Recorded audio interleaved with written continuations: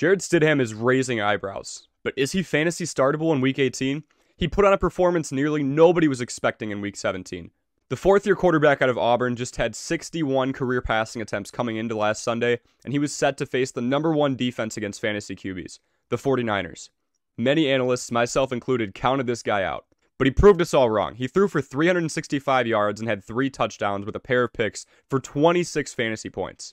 If he's healthy in week 18, I say you start him. He'll be facing a Chiefs team allowing 19.9 fantasy points per game to QBs. That's third highest in the league. Like and subscribe to this page to out research your fantasy opponent.